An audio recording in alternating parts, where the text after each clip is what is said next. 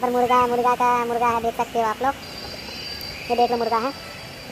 तो welcome back my new first vlog I hope आप लोग देख सकते हैं, मौसम भी काफ़ी ज़्यादा ख़राब कर रखा है, बारिश आ सकता है। ये देख सकते हो मौसम कितना ही कितना ही ज़्यादा ख़राब कर रखा है, देख सकते हो।